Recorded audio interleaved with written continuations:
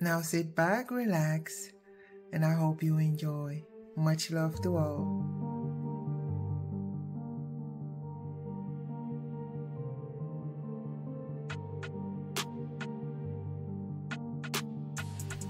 Olokun, primordial ruler of the sea, bestows fertility, healing, abundance, and wealth. Olokun's identity, gender, and even function depend upon where his, her myth is told.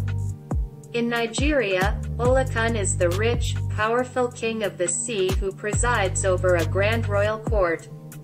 This Olokun did not survive the slave trade's middle passage from Africa to the Caribbean and Brazil. In African diaspora traditions, Olokun resides at the bottom of the sea. Yemaya emerged as the preeminent Yoruba spirit of the sea in the Western Hemisphere. Olokun is variously understood as Yemaya's mother, sister, or alter ego. Sometimes Yemaya rules the upper part of the sea while Olokun rules the darkest depths. In the context of these Western traditions, Olokun is a silent, solitary, brooding presence on the ocean floor. She is almost inevitably female and venerated alongside Yemaya. Olokun is a spirit of life and death. The ocean may be understood as the source of all life.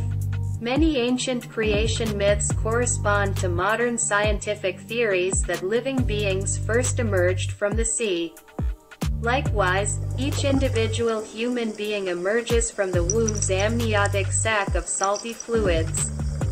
The bottom of the sea is also the realm of death, the proverbial watery graveyard. Olokun controls the spiritual staging area that human souls must cross to be born or to return to the spirit realm at death.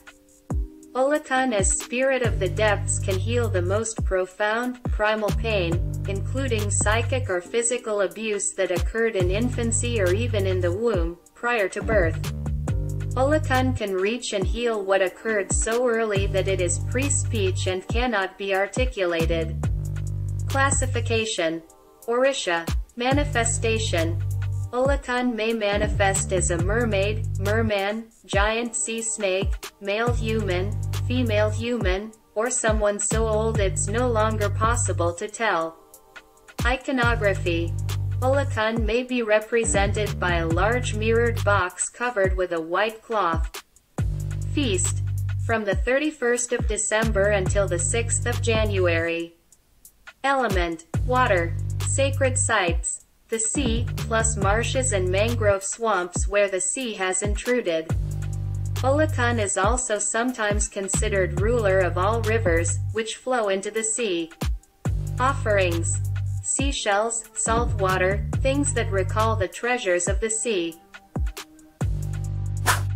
Thank you for watching. I hope to see you again soon. Till the next time, much love.